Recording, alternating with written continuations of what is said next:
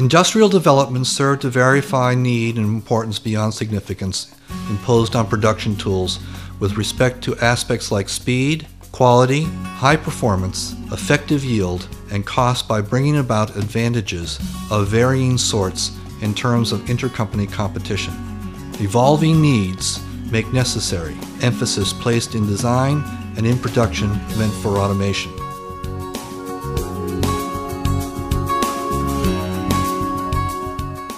SM2 by 100 system, designed for surface work on small to medium-sized particles, has a greater processing capacity of 15 to 20% more than by self-processing vibrators. Term of process starts from weighing checked loading system and realized throughout all processes, which include washing, drying, and loading into crates, all made automatically. This is the most effective system for procedures which involve money polishing and alike applications.